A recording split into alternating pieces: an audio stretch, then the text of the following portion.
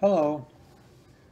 We're going to continue the series of spectral analysis applied to pianos. This will be part two. And I'm going to spend it on looking into the precursors that I talked about in part one. I'm going to preface it with a few comments on some of the feedback from part one. Okay, uh, one, uh, there was some feedback about the origin of these spurious spectral components, and one person suggested they might come from interactions between the unisons. So I took a look at the C2 sharp. Uh, it's a three-string key, and I struck it, all three strings. Then I used mutes and struck just a single C2 sharp string and looked at the spectrum and plotted them with an offset so you could compare them. The blue is the three string and the black is the middle string spectrum and it's uh, plotted in linear units instead of decibels like I did in part one. And you can see that the spectra are pretty much the same. And out here in this area where we have this so-called strange or spurious components, it occurs in the three-string strike, but it also occurs in a, the individual string. So it's probably not a consequence of interaction between the unisons. Another comment related to the inharmonicity of C8, I posted this graph in, in part one and made the comment that there was inharmonicity at the fundamental, which is stupid. It isn't, that isn't the case at all. Uh, take a look at this. Here's the harmonic in red. Here's the partial, and it's tuned a little bit sharp of the harmonic. That's all. You can't make any comments about inharmonicity unless you talk about how the partials are spaced and relative to the harmonics. And here, the second harmonics, or seconds partials, are really kind of poorly defined. I'm not sure whether it's this peak or that peak. So there isn't much you can say about inharmonicity for this particular key. So I'm going to have to concede that point completely. Now let's take a look at the precursors. We'll start with uh, the overall view of an A4 wave. This is from my Knabe plotting the amplitude versus time. Here's the beginning of the wave over here. And we'll take a look at the beginning. And you can see that indeed there is a something going on before the bulk of the wave comes through, which is this stuff right here. But there appears to be two parts. There's uh, this part here, which is a got some vibration going on or some periodicity, but it's a low frequency. And then there's a little spot right here of high frequency stuff that occurs just before the bulk of the wave shows up, which in fact is the transverse component. So let's take a slight side trip here and try to get a handle on when those things, when those various precursors show up by taking a look at some of the equations. And I apologize for doing this because I like to keep these presentations non-mathematical, but unfortunately we can't, we can't avoid it here. I want to start by looking at the relationships between the string tension, string density, cross-sectional area of the string, string length, transverse wave speed, in other words, how fast does the transverse wave component move along the string after the hammer strikes the string. Same thing for the longitudinal component, CL, and the fundamental frequency and the period. Okay, here's the, the fun, here's the basic equation. The fundamental frequency is equal to something that says it depends on the tension, inversely on the density, inversely on the cross-sectional area, and inversely on the length. This is a widely used equation and it comes from solving the wave equation. It's, it's actually an eigenvalue result. And you could also manipulate this equation to solve for t as a function of the fundamental frequency, the tension. So I'm going to use that later. Down here, for example, here's the cross-sectional area. Here's the expression for the transverse wave speed. Depends on the tension and on the density of the cross-sectional area. The longitudinal wave speed depends on the density, but it also depends on the Young's modulus, which is a measure of elasticity. Now here's some typical values for A4, which has a fundamental of 440 hertz. Its period, which is the reciprocal of the frequency, would be 2.27 milliseconds. The length between where the string is struck and the bridge, uh, yeah, the bridge, I'm calling L wiggle. It's a little bit longer, a little bit shorter than the actual speaking length because the string is struck at about one-eighth of its length. And in this particular case for the A4 key, it's about 3.5 meters. The speed of the transverse component from this equation right here is 313 meters per second. The longitudinal speed is 5,032. So we've got a longitudinal component moving order of magnitude quicker than the transverse component. Now let's relate some of the times.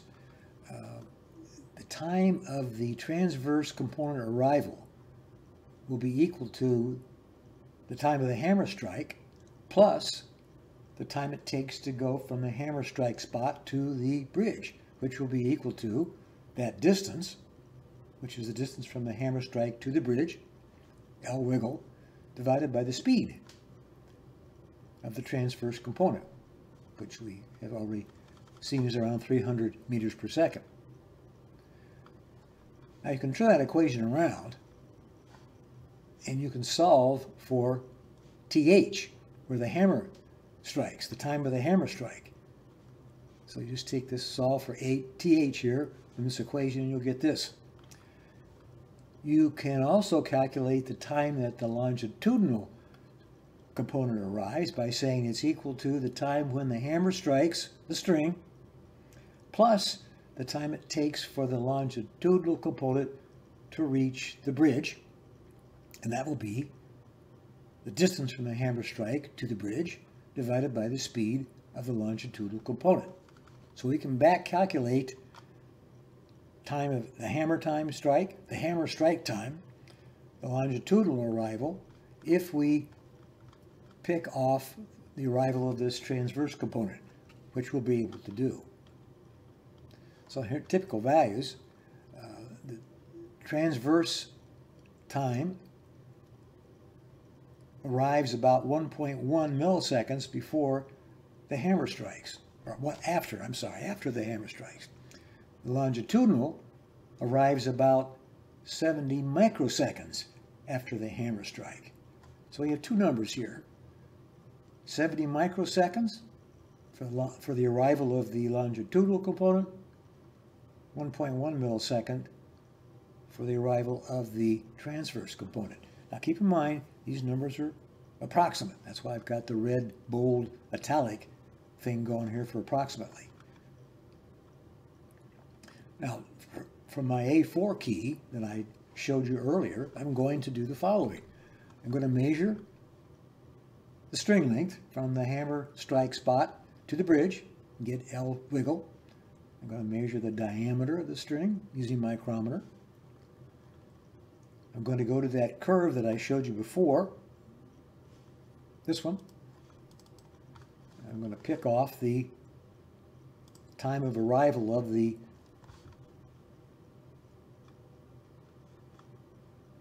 of the transverse component. In other words, it'll be right here where that bulk comes through.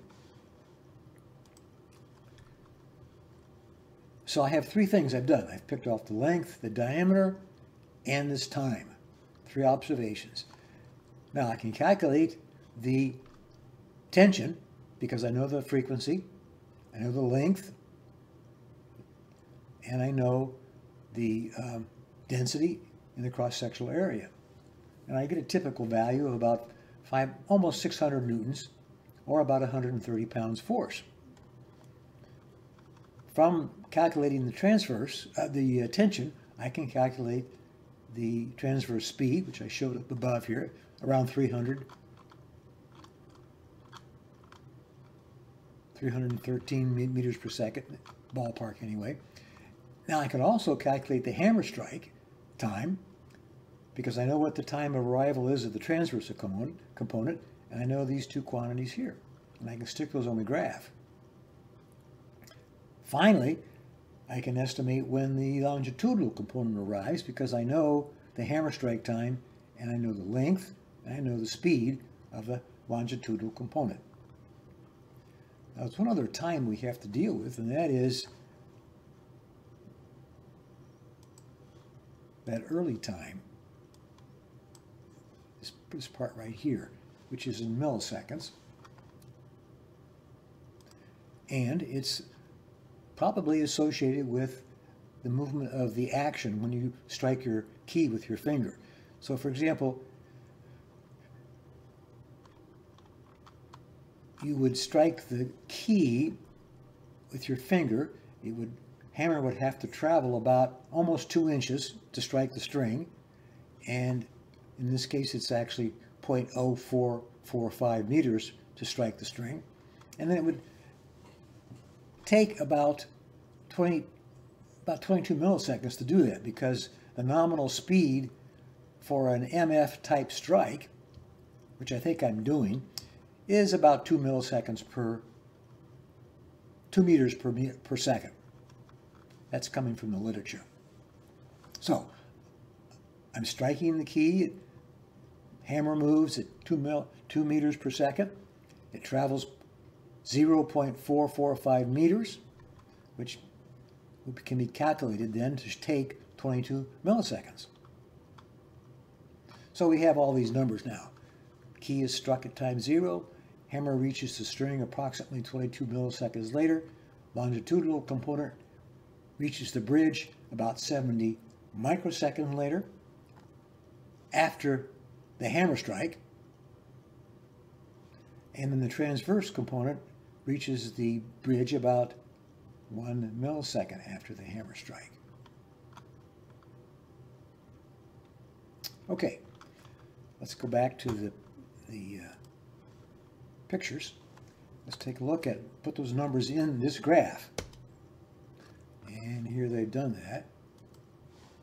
Here's where the precursor starts. and this number really isn't important because it doesn't appear in any of the equations, but this is where I think it starts. Here's the precursor that I think is associated with the action of the, the movement of the action. Here's where the hammer strikes takes place. Hammer strikes the string.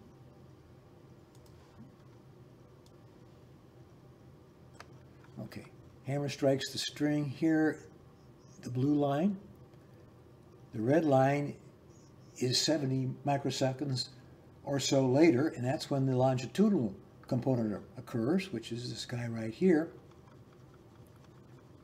And then the transverse component arrives at this point. And there is the transverse plus the longitudinal component here. Okay, so here's this longitudinal part. Here's the transverse plus the longitudinal, or the bulk of the wave. And then over here is this precursor that we are assuming comes from the movement of the action. So that's for the A4 middle string. Now let's do one more string, one more key. I'm going to go over to the Yamaha console and I'm going to look at the F3 middle string.